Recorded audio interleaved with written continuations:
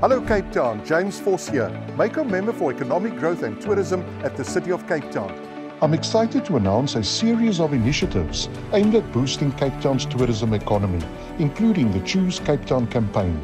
It's really a privilege to stand before you today as we celebrate incredible milestones which Cape Town has reached in the tourism sector.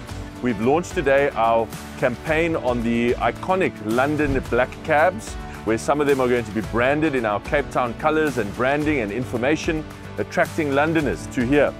We also launched this awesome new logo for all of our amazing city events that take place here so that people can unmistakably identify Cape Town.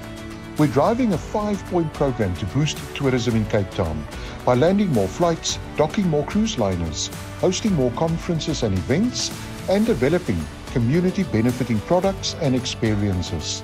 We're also launching targeted campaigns to increase forward bookings. These efforts have secured 26 airlines flying to Cape Town, connecting us to 31 destinations worldwide. As the City of Cape Town, we're working around the clock and around the globe to make this happen. There's this one mission in mind all the time.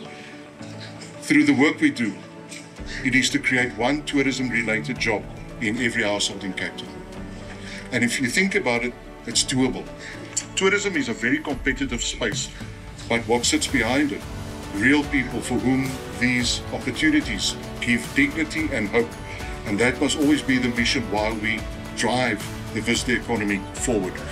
So let's continue to choose Cape Town, share its beauty, spirit, and the stories of Cape Town to the world.